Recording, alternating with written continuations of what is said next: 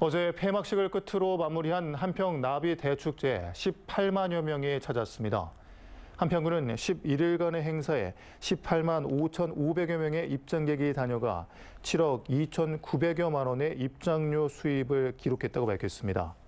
또 이 기간 농특산물 판매장은 1억 6,900여만 원의 매출을 기록했고 판매장과 부스 임대료 등 수입을 합치면 7억 6천여만 원을 달성했습니다.